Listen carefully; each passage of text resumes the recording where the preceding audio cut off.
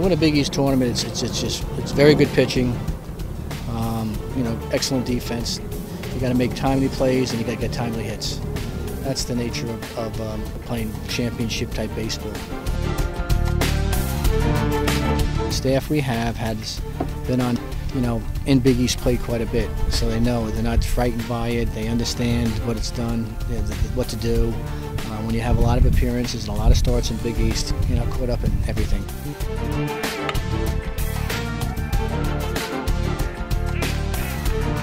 I mean, I think it's big. Our team can do a lot of things to hurt you offensively. We can steal bases, as you saw today, and hit balls in the gaps that really can put pressure on teams, put balls in play, make them make the plays, and that'll hurt you, and especially in tournament play when things are nip and tuck.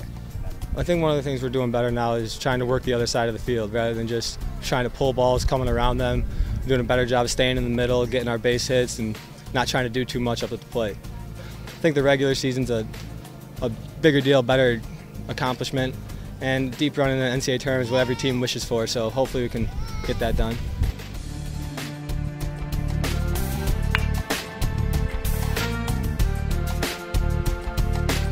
Personally, this is probably the best I've pitched, you know, in the three years I've been here. So from a personal standpoint, um, you know, my confidence is at an all-time high. Team-wise, I mean, you know, aside from the loss yesterday, you know, last weekend series to Louisville, I think our second half of the year has been a lot better. So team-wise, our confidence is an all-time high also. The first two years I was here, um, our walk numbers were really high. You know, kids weren't really aggressive. We weren't really pounding the strike zone. And this year, uh, I think our walk numbers are one of the lowest in the Big East. Uh, strikeout numbers are way up. So uh, I think just collectively as a team, we're pounding the zone a lot, a lot more and being a lot more aggressive.